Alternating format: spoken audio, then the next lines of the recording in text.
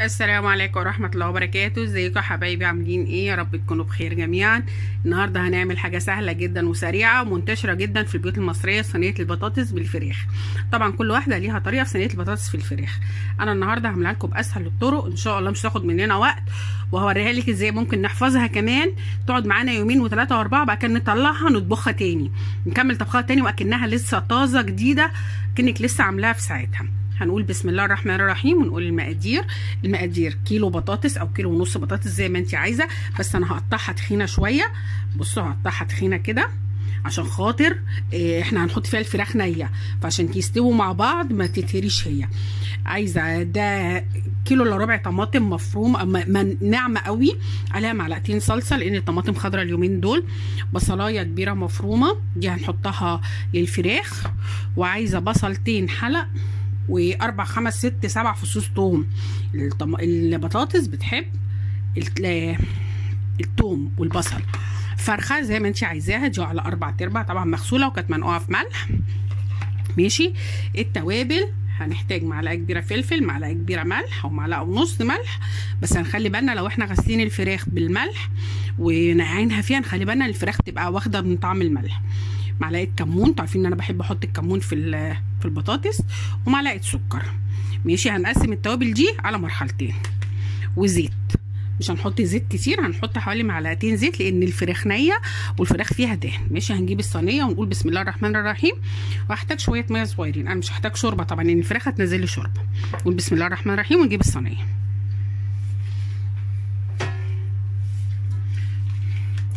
إحنا بس هندخل شوية كده شوية حاجات. بعد كده إيه نجيب الصينية الأول كده. نجيب الأول الفراخ. طبعا إحنا كلنا عارفين إن أنا بغسل الفراخ بدقيق الذرة وبال بالملح ودقيق الذرة وبإيه ملح ودقيق الذرة وبنقعها فيها. ما بحطش فيها لا خل ولا أي حاجة. هبتدي أنزل أخد ملح شوية من الملح وشوية من الفلفل. وشويه من السكر مش هاخد كمون ملح وفلفل بس. وشويه من السكر. وابتدي أدعك كده قوي. وابتدي أحط بصوا بقى الفراخ هبتدي أحط هنا كده. في الجراب ده دايما يبقى موجود. هنا في الورك. كده. وحط تحت الجلد. بصي هتجيبي تحت الجلد كده وتحطي تحت الجلد. أنا عاملة صينية أكبر من الحجم. يعني أنا عاملة الصينية أكبر من الحجم بتاع الفراخ والبطاطس عشان كله يستوي في وقت واحد. أنا هتبل كده. دي أسهل صينية بطاطس ممكن تعمليها. لو أنت جاية من الشغل ومستعجلة تروحي عاملاها في ثواني وتبقى في منتهى الجمال أسهل صينية بطاطس. خلاص إحنا خلصنا كده. ندعك كله مع بعض كده. نبتدي ندخلها كده شوية. نبتدي نعمل إيه؟ ناخد البصل الحلق والثوم ننزل بيه. كله. طبعا كل الحاجات دي هتتغسل بمية وصابون جامد عشان إحنا مسكنا فراخ. خلي بالكم النقطة دي يا جماعة. اللي بيمسك فراخ لازم يخلي باله إن هو لازم يغسل إيده كويس قوي قوي قوي بمية وصابون قوي كل حاجة وتغسلي الحنفية وتغسلي الحوض يعني إلا لما يكون في فراخ أو لحمة أنت بتستعمليها. هدعك كده قوي قوي كده. وأروح نازلة بالبطاطس.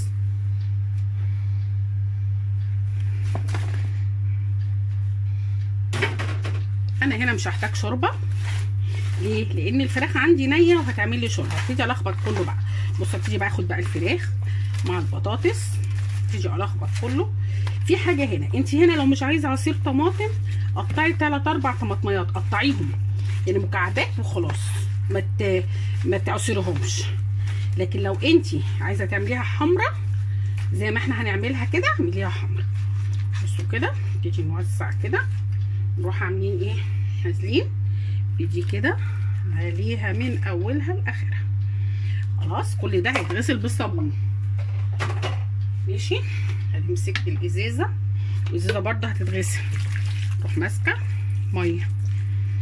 هنعمل إيه بقى؟ كده. خلاص. نعمل كده. هنبتدي دي بقى هنعمل فيها إيه؟ دي هنحطها على البوتاجاز. تغلي جامد قوي. يا يعني نغطيها بفويل نغطيها بأي حاجة. عايزاها تغلي جامد جدا.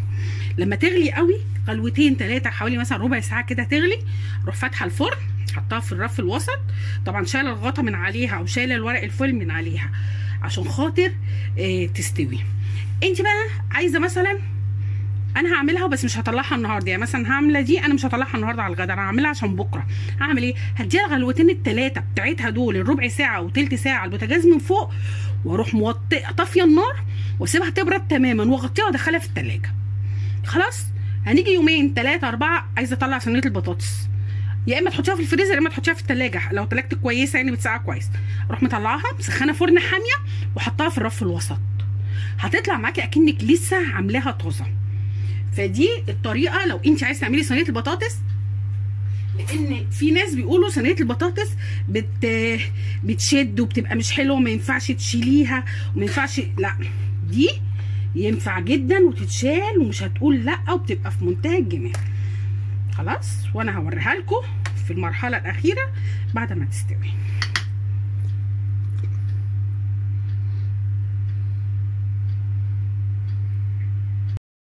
بصوا هنا يا حبايبي شايفين هنا بت...